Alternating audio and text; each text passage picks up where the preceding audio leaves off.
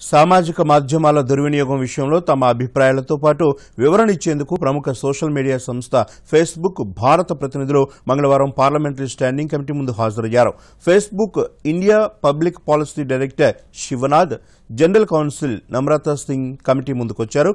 పౌరుల హక్కుల పరిరక్షణ సోషల్ మీడియా దుర్వినియోగాన్ని అరికట్టే అంశాలపై చర్చించేందుకు ఇటీవల పార్లమెంటరీ కమిటీ ఫేస్బుక్ గూగుల్ సంస్థలకు సమన్లు జారీ చేసింది. అయితే కోవిడ్ ప్రోటోకాల్ దృష్ట్యా తమ ప్రతినిధులు వ్యక్తిగతంగా కమిటీ ముందు హాజరయ్యేందుకు కంపెనీ పాలసీ అంగీకరించదని ఫేస్బుక్ తెలిపింది. కమిటీ చైర్మన్ ఎంపీ శశిధరూర్ స్పందిస్తూ పార్లమెంటు సెక్రటేరియట్లో వర్చువల్ సమావేశాలకు అనుమతి లేనందున వ్యక్తిగతంగానే హాజరు కావాలని స్పష్టం చేశారు.